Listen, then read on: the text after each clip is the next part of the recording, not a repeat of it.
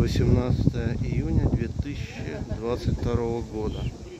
Панорама с горы Тукая.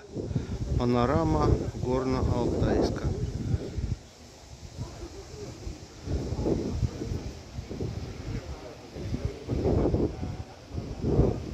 Чтобы забраться на горку, нужно преодолеть кучу ступенек. Вот таких вот.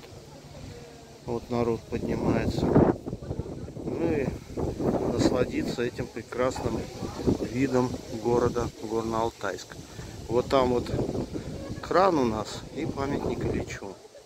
Соответственно, мы туда пойдем. Вокруг этой площади вот зеленые там деревья. Там все руководство Республики Алтай. Там вот у нас стадион виден. Вот, а мы живем вот в той части города. Название гостиницы я позабыл.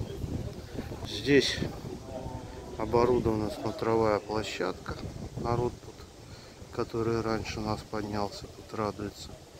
Ну и можно подняться там вот по тропинке еще наверх.